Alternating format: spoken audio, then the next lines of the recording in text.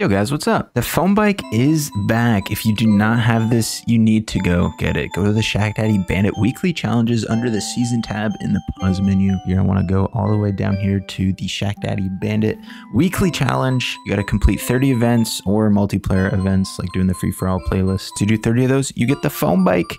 And yeah, this is easily the best reward they have ever put out through the Shack Daddy Bandit challenges.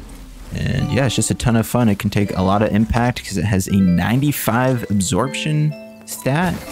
And yeah, I mean, you can see in some of those clips, like you just run into stuff and you just, you don't fall. It's great. It's super fun. I'm going to hit one more thing before we end the video. I actually love coming over here to the Red Bull Joyride event, hitting one of these jumps from the rocket wing, something like this. And then Oh my god. Okay, we actually overshot it to the right a little bit. Oh my jeez.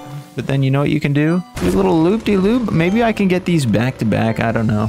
We're kind of just freestyling here. Okay. That works too. Okay.